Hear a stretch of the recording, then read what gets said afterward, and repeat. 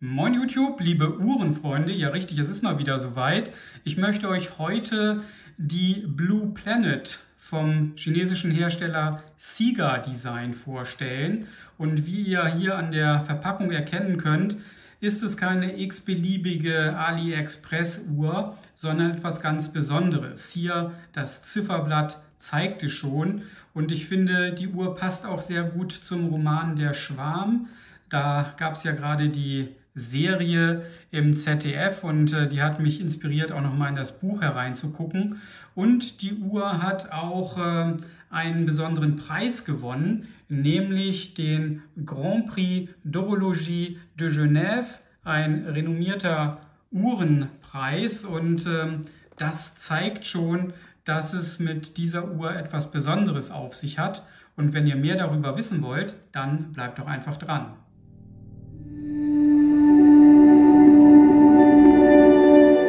Willkommen zurück. Ja, und äh, auch die Verpackung äh, ist äh, etwas anders äh, gestaltet als normalerweise. Keine simple Uhrenbox, sondern eine Art äh, Buch in einem Schuber. Und äh, wenn man dieses Buch dann aus dem Schuber herausholt, dann kann man darin tatsächlich blättern. Sieger Design ähm, hat das Thema blauer Planet und äh, das, was mit unserem Planet geschehen ist oder geschehen wird.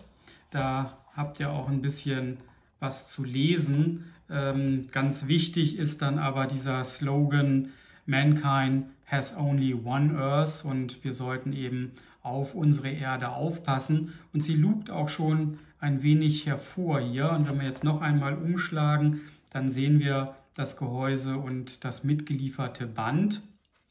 Und äh, wenn wir jetzt noch einmal umblättern, dann finden wir hier ähm, eine Bedienungsanleitung. Dort wird gezeigt, wie man die Uhr abliest, äh, wie man das Band anbringt und wie man mit der Uhr umgehen sollte. Und hier ist die Uhr in ihrer ganzen Pracht. Bevor wir auf dieses besondere Design noch mal etwas näher eingehen, Zunächst einmal die technischen Daten. Wir haben einen Durchmesser von 46 Millimetern. Ja, da äh, höre ich schon den einen oder anderen schreien, oh Gott, viel zu groß. Aber man muss berücksichtigen, dass wir hier keine Hörner haben. Das heißt, auch die Länge der Uhr beträgt dann nur 46 Millimeter und sollte damit auch an kleineren Handgelenken gut zu tragen sein. Die Höhe der Uhr beträgt knappe 16 mm, also doch ganz ordentlich. Das ist aber auch der Tatsache geschuldet, dass wir hier ein schön gewölbtes Saphirglas haben, das so ein bisschen wie die Atmosphäre über dem Globus liegt. Ihr seht schon, ähm, das Gehäuse ist schön satiniert der Anstoß beträgt 22 mm und wir haben ein Gewicht von etwa 110 Gramm bei der Stahlversion, so wie ich sie hier habe. Das Ganze gibt es dann auch nochmal mit Titangehäuse. Dann ähm, ist die Uhr etwa 20, 25 Gramm leichter. Nachdem wir jetzt die technischen Daten abgefrühstückt haben, gehen wir jetzt etwas näher auf die Uhr selbst ein und da sticht natürlich dieses Zifferblatt äh, besonders hervor. Wir haben hier den Indischen Ozean und seine Anrainerstaaten bzw. Kontinente abgebildet. Das sollte nicht verwundern, da Sieger Design ja ein chinesisches Unternehmen ist und von daher haben sie sich für diesen Teil der Erde entschieden. Das Ganze ist äh, sehr filigran gearbeitet, in Handarbeit, sagt äh, Siga Design.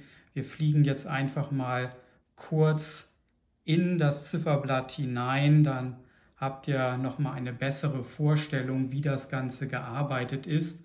Und das ist einfach dieser Hingucker, dieser Wow-Faktor, den die äh, Blue Planet mit sich bringt.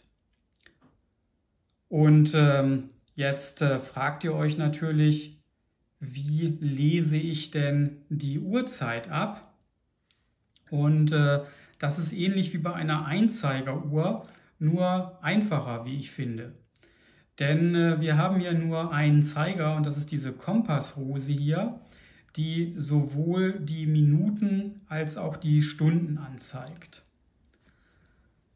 Das Ganze funktioniert so, wenn ich jetzt hier mal die Krone ziehe, die ist im Übrigen nicht verschraubt, weil wir nur eine Wasserdichtigkeit von 30 Metern haben, dann ähm, kann man hier den Minutenring drehen und dabei dreht sich dann auch der Globus mit.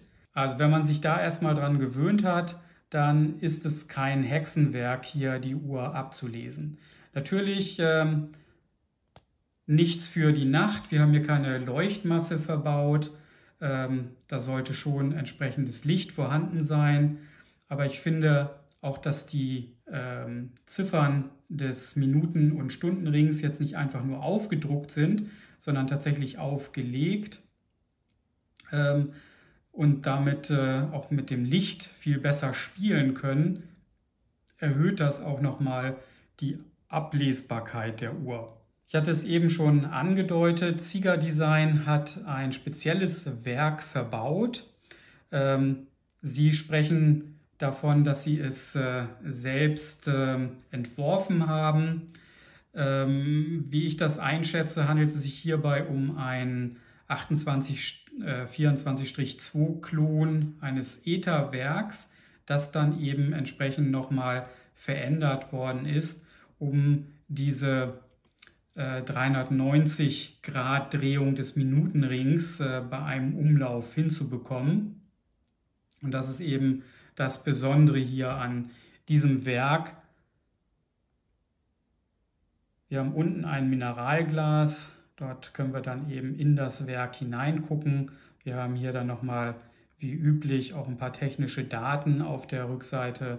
Wir haben hier auch ein Schnellwechselsystem, dass es sehr einfach äh, macht, das Band zu wechseln.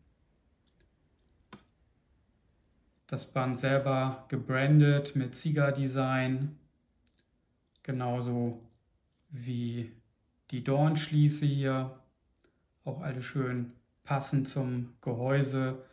Ähm, das Blau des Bandes spielt eben mit dem Blau des Ozeans. Jetzt nochmal die Uhr an meinem Handgelenk. 18,5 cm im Umfang auf der linken Seite. Eine Auflagelänge von 54 mm. Das gibt euch so ein bisschen ein Gefühl dafür, wie sich die Uhr trägt. Ich habe auch noch mal ein paar Aufnahmen von draußen.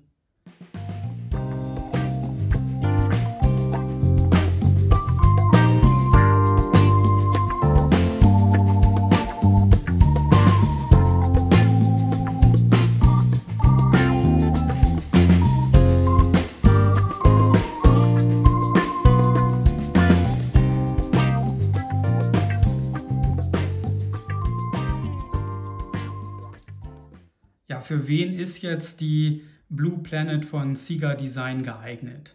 Sicherlich nicht für jemanden, der eine Alltagsuhr sucht, das sollte klar sein, ähm, sondern eher für jemanden, der schon einige Uhren besitzt und äh, vielleicht noch irgendetwas Besonderes in seiner Sammlung haben möchte. So würde ich das Ganze sehen. Denn ähm, diese Uhr ist ein ganz klarer Conversation Starter, wie man so schön sagt. Ähm, sie bringt einen eben ins Gespräch. Ich könnte mir durchaus vorstellen, mit der Blue Planet auf ein Uhrentreffen zu gehen ähm, und damit würde ich sicherlich auffallen. Und ähm, das bringt einen dann, wie gesagt, eben ins Gespräch und man kann dann sehr schön über sein Hobby fachsimpeln. Preislich vielleicht etwas ambitioniert, auch ähm, gerade im Vergleich zu den anderen Uhren von Sieger Design, die so in der Größenordnung äh, zwischen 300 und 400 Euro liegen. Hier liegen wir bei knapp 1000 Euro für die Stahlversion. Das ist natürlich schon eine Hausnummer, aber wenn man dann mal bedenkt, ähm, was hier an Design dabei ist, das äh, veränderte Werk, dann äh, relativiert sich das auch in gewisser Weise wieder. Wir haben hier eben nicht diese typische AliExpress-Uhr, die man irgendwie im Angebot 450 Euro bekommt. Das sollte auch klar sein. Sieger Design bietet nur, muss ich sagen, 12 Monate Garantie. Das ist schade. 24 Monate werden sicherlich angemessener. Ähm, das Gute ist aber, dass Sieger Design die Uhr inzwischen auch über Amazon vertreibt und ich gehe davon aus, dass es auch entsprechende Lagerbestände hier in Europa gibt. Das heißt, zum einen, wenn ihr euch äh, durchringen solltet, die Uhr zu bestellen, äh, Links findet ihr übrigens im angepinnten Kommentar, dann äh, habt ihr die Uhr tatsächlich in wenigen Tagen bei euch, ähm, ganz normal wie bei einer normalen Bestellung über Amazon auch. Und äh, sollte mal etwas mit der Uhr sein, dann gehe ich eigentlich auch davon aus, dass der Service relativ schnell geht, dass äh, gegebenenfalls auch ein Austausch äh, der Uhr aus Europa heraus passieren sollte und ihr da nicht wochenlang auf die Lieferung aus China warten müsst. Außerhalb der Garantiezeit sollte das Werk auch äh, keinen Uhrmacher vor große Herausforderungen stellen. Wie gesagt, es ist äh, ein Klon eines 2824-2 von ETA. Klon hört sich jetzt immer ein bisschen äh, schlimm an äh, für diejenigen, die sich da nicht auskennen. Ähm, die Patente von ETA auf das Werk sind abgelaufen. Jeder kann dieses äh, Werk nachbauen und sehr, sehr viele Unternehmen haben das inzwischen auch getan.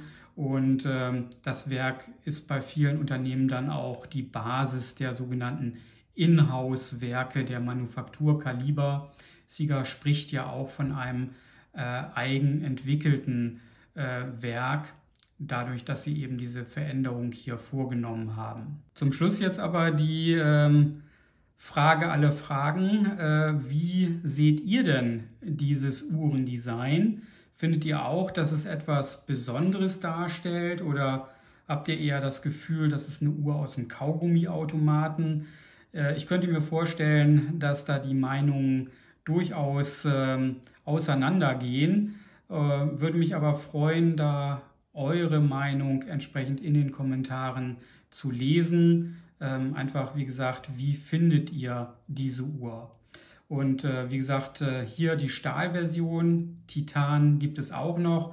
Und ganz neu jetzt äh, ähm, das Modell hier in Schwarz äh, mit goldenen Indizes bzw. Ziffern. Ähm, ich blende hier nochmal ein Bild ein für all die, denen diese Stahl- oder normale Titan-Version etwas zu schlicht daherkommt. Die hätten hier auch nochmal die Möglichkeit, ein anderes Modell zu wählen. Ja, das soll es äh, aber gewesen sein hier zu der Blue Planet von Sieger Design. Ich hoffe, es hat euch gefallen und ihr seid auch beim nächsten Mal wieder dabei, wenn es bei mir heißt, Moin YouTube, liebe Uhrenfreunde. Bis dahin, tschüss.